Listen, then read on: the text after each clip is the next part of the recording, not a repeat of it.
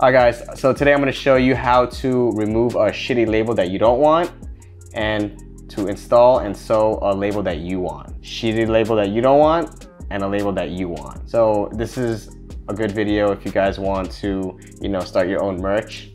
What I'm doing, yeah, I'll just up the quality of your merch. So today I'm gonna show you how to switch the two out. So first step, this is a cool tool. You need this tool. Um, it's called a thread remover. What you wanna do is you wanna take the thread remover, find one string, and you wanna scoop from the bottom and then lift from the top.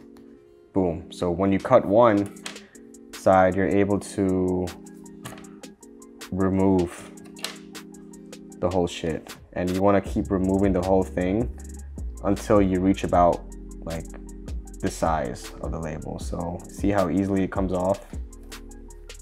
And then you wanna keep running the string. And you, want, you wanna be careful because you don't wanna overdo it. From there, you know, you can just eye it, boom. See, that's what we want to. So after you finish finding the right size to insert your label in, take these. These are really cool, man. These are so easy to use. Um, I've been learning how to sew throughout this whole quarantine and it's pretty simple. So you want to just take this and then just like cut the edge. You don't want to cut too much of it. I like to have like a little slack throw it under, then you want to go behind. Cut that, cut that. So you have like a nice and clear space.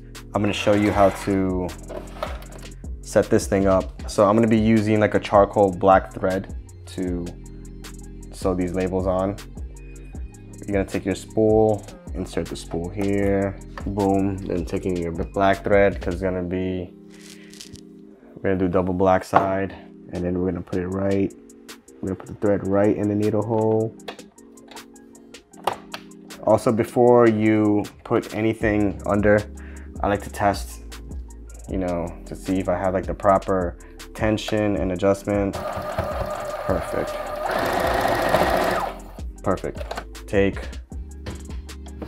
our shirt, make sure everything is all clear, align it drop the needle like halfway and make sure you backstitch first to prevent the threads from running loose so you want to do a backstitch to lock in the thread then a forward stitch. And then now slowly slowly try to be as precise as you can. And then afterwards you want to backstitch it to prevent the threads from running loose. So we're gonna go back and then boom there you go. Cut the back cut the back and then afterwards what I like to do I like to just like flame the rest yeah flame the rest of it you know just light well I like to do that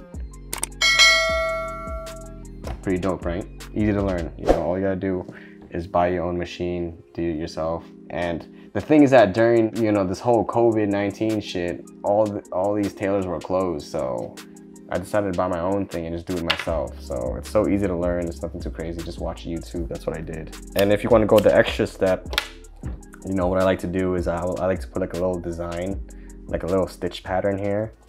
So I'm going to be using you know, this tan color for the top. And for the base, I'm gonna be using red.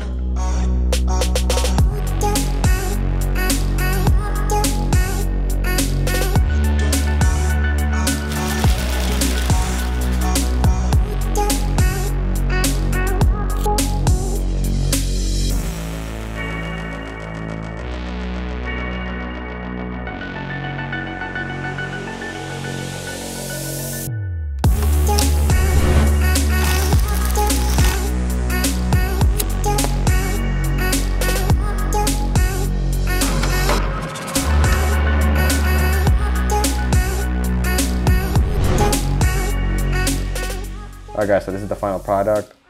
You install your own woven label on top of it a little design stitch, you know, just to make it look pretty cool. You have the tan on the top and red on the bottom. If you just want to be basic, you know, you want to be a little bit more creative, there you go. And that's how you sew your own woven label.